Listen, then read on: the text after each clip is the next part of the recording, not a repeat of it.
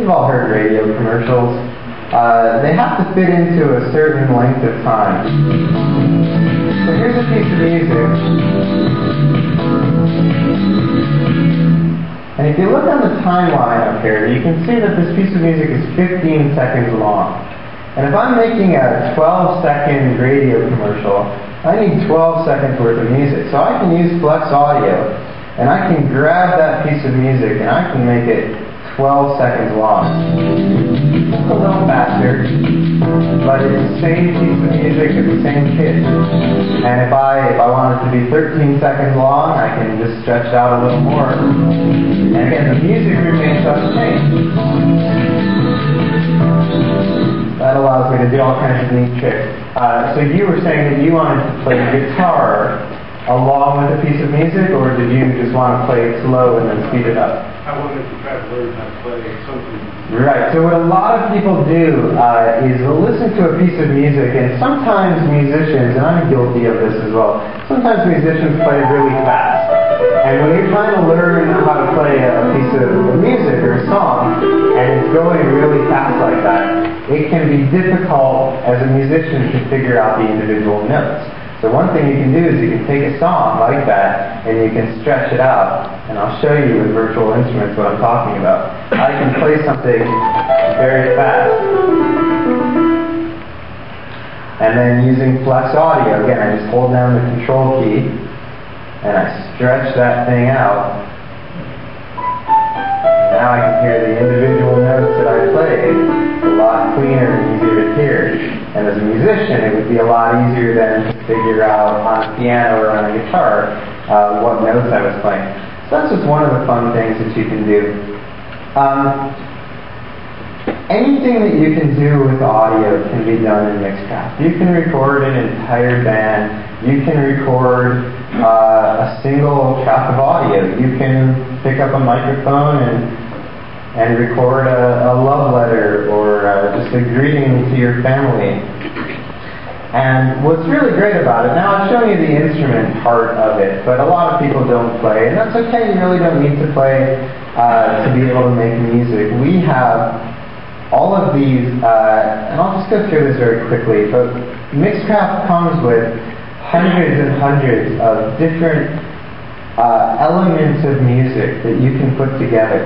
So you might not know anything about music, but you might want to sing along to a song that you created. So what I'm going to do is I'm going to click on the library tab, which shows all of these different sound effects and, and bits of music that come with Mixcraft. And I'm going to click on Country Shuffle. And what it's going to show me is acoustic guitar, bass guitar, drums. I'm going to play you just one of these. I'll, we'll listen to a drum part.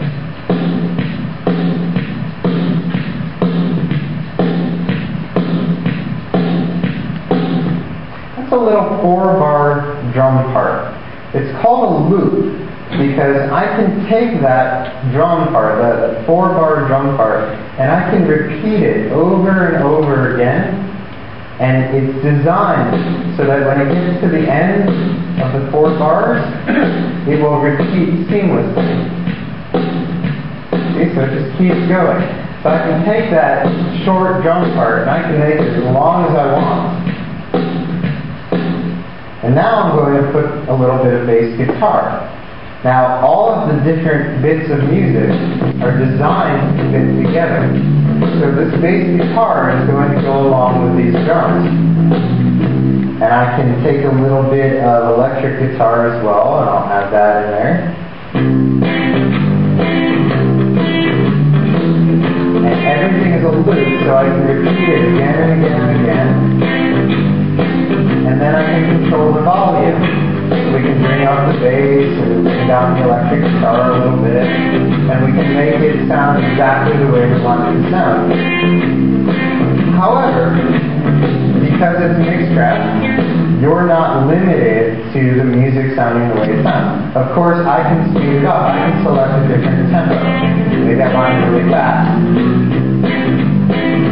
Maybe I want it really slow. But maybe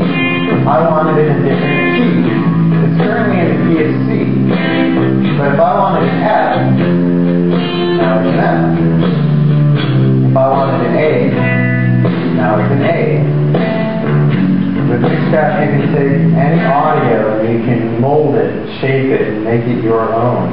And in this way, I've been able to write just very quickly a piece of music without any, without playing notes. I could then pick up a microphone and I could write a little melody to go along with this about my pickup truck getting stolen and my dog dying, and then I can uh, record that and I can mix it all together, and then I can click the burn audio CD button up there and put a blank CD in my computer, and Mixcraft will write that to an audio CD right from the program.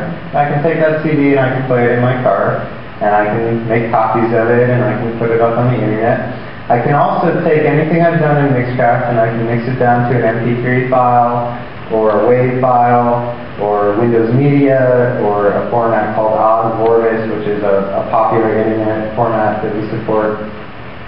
Um, so that's just another way that you can use Mixcraft to make music. I'm going to